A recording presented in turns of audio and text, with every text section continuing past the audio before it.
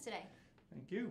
So, Dr. Weinstock is a professor of dermatology and epidemiology at Brown University. He's a board certified dermatologist who practices at Brown Dermatology, and he's the chief of dermatology at the Providence VA Medical Center.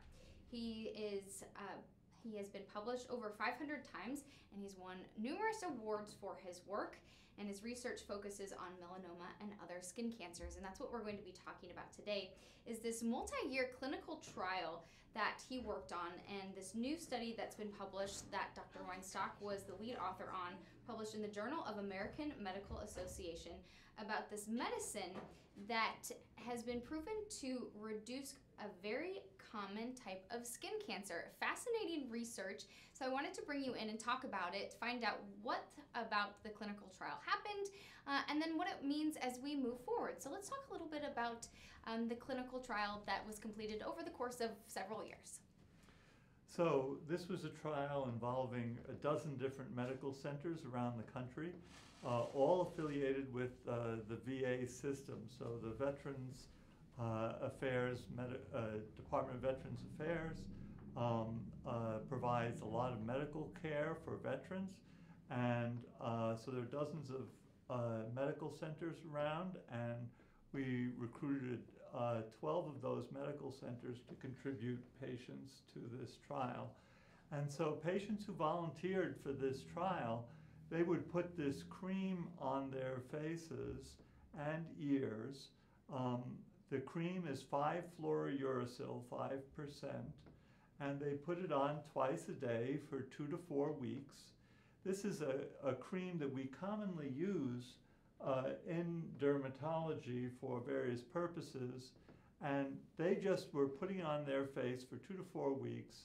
Um, these were people at very high risk of skin cancers because all of them have had at least two skin cancers in the past.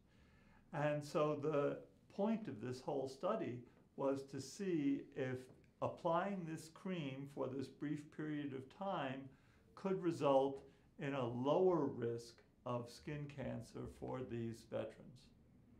And seems like it worked. Yes. yes, it did work. So, uh, so this was a randomized trial. Half of the veterans received the active form of the cream. Half of the veterans just received the base of the cream without the active ingredients. And they all applied it uh, twice a day for two to four weeks. And then um, at the end of the first year, uh, we found that for squamous cell carcinoma of the skin, that squamous cell carcinoma of the face, of the ear, so this, these were the areas that they applied to. They didn't apply it over the whole body, just these areas. And for that squamous cell carcinoma, the number um, in the treated group was one fourth the number in the untreated group, in the group that was just using the base of the cream. So that's a 75% reduction in the risk of squamous cell carcinoma of the skin in the first year after um, this two to four week course of the cream. And that's an outstanding result, at least from my point of view. And, and I think it points a direction towards trying to prevent these skin cancers. Um, you know, skin cancer is um, incredibly common. Three quarters of all cancers in the United States are skin cancers. And um, the rates have been going up and up and up and up over the years. Um, it's about time to turn that around. And I'm hoping that this will be a first step, and certainly not the last step, but at least a first step towards turning those numbers around so the rates start coming down. What was incredible about this, I read that you said that even though they only used it for a short amount of time, that it was effective for a pretty substantial amount of time afterward, right? So even if they only used it for around, if they used it one use, so a month, one treatment, the effects were seen for around a year or so. That's correct. Yes, that, that is correct. So they used it for two to four weeks. And um, the reduction in squamous cell carcinoma of the skin in the areas to which they applied this cream uh, was 75% reduction over the first year. Um, after that, it went back to the usual rates. So there was no difference between the group that got the cream and the control group after the first year. But during that first year, it's a very dramatic reduction. That seems substantial because I feel like with other medications you would take daily or weekly or I mean, right? Doesn't that seem like one use you're reducing the risk for a year? Yes. That seems substantial. That is substantial. and the other things that have been shown to reduce skin cancer risk uh, stop working when you stop using them. Yeah, exactly. Yeah. So, um, for example, sunscreen has been demonstrated to be effective to reduce squamous cell carcinoma skin cancer risk, um, but um, that's been demonstrated to be effective while the sunscreen is being used. Nicotinamide, a pill you can take, also has been demonstrated to be effective as for a smaller reduction of risk, and that goes away when you stop taking the pill. So the, the really wonderful thing about this trial is that the effects lasted for a whole year. That's I mean that's incredible. So we've learned this from this group of people and they were at high risk. They already had skin cancer twice. This type of skin cancer or other forms of skin cancer or Either basal or squamous cell Okay. carcinoma of the skin. Okay.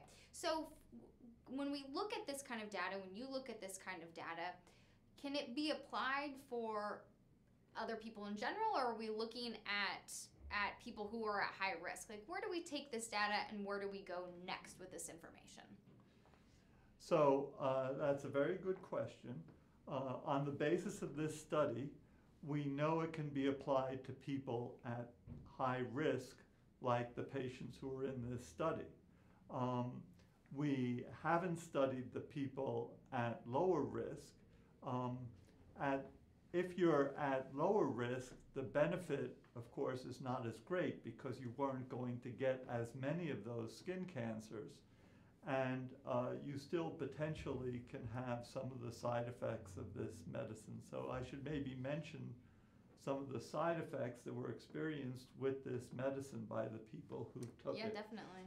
So, um, so this medicine, 5-fluorouracil, when you put it on your face twice a day for two to four weeks, it can turn the skin red. The skin can become itchy or tender, so it can hurt. Um, and so those are some of the side effects. Those are not life-threatening side effects, but they are bothersome side effects. Um, we asked the people in this study at the end of the study period who had been using this cream, we asked them if this proves effective at reducing your risk of skin cancer, would you want to do it again, given that you've had these side effects on your skin where you applied this, the cream? And 87% said yes Wow. they would do it again because skin cancer is awful. I mean, uh, people sometimes skin cancer is very simple to remove. Sometimes it's very complicated to remove. Sometimes you have to get a big hole in your face to uh, cut it out, and then that has to be repaired. So it can be very involved. Um, and it can be uh, very anxiety provoking as well. So there's a very big advantage to preventing these skin cancers, even if just for a year.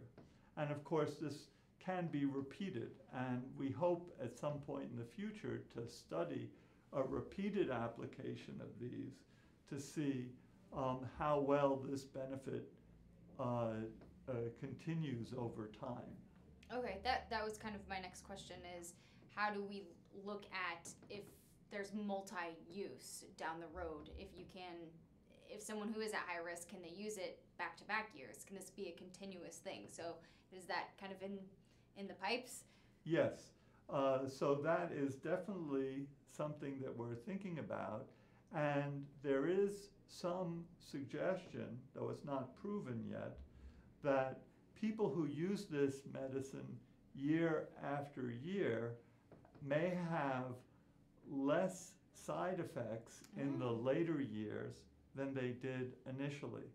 Because the side effects, in part, occur because there's sun damage on the skin that the cream is reacting with Mm. to cause these effects. So the more you get rid of that damage from the first use, the lesser the side effect for the second use. So that's not been proven yet. That's at this point our theory, and we need to study that in detail to make sure that that's really true. Interesting. So as we move forward, if people have had skin cancer, they know that they are at high risk. Is this at the point where it's something that you can speak to your doctor about? Hey, I heard this on Go Local. I've read the study. I saw the study published. Is this something that people can start to speak with their dermatologist about? You practice dermatology still yourself while you're doing research. Is it something that people can can start talking to their doctor about? This is medication that's used in other forms is it something that doctors might be able to start prescribing to their patients for this use, or are we not there yet at all? Um, it is something that doctors can start prescribing. It is fine for patients to be talking with their doctor about this. Uh, and um, we found also, as um, a sideline to this study, that in addition to reducing the squamous cell skin cancers on the face, it also has a longer term effect on reducing actinic keratoses on the areas where the medicine was applied. So that is also something that's commonly treated. Patients commonly go to the dermatologist because they have actinic keratoses. Um, so this is another benefit. So there are advantages, and there may be even an advantage in the appearance of the skin. We haven't demonstrated that. But um, so, so there seems to be at least the one big advantage, which was the primary point of the study, and there may be other advantages to using this cream on a once a year basis if you're this very high risk type person. Well, I think this is fascinating, and congratulations on yet another accomplishment. Um, and I think a lot of people out there, this is very promising, very, very promising. So, Well, thank you. so thank you so much, Dr. Weinstock, for joining us here on Go Local Live today. I appreciate it, and remember to be safe in the sun, everyone. Definitely. So thank. Sunscreen, SPF 30 or greater. Oh, I appreciate that, uh, and definitely stay protected. So, Dr. Weinstock, thank you so much for joining us here in the Navigate Credit Union Broadcast Center. Hang tight as we get ready for our next guest on Go Local Live.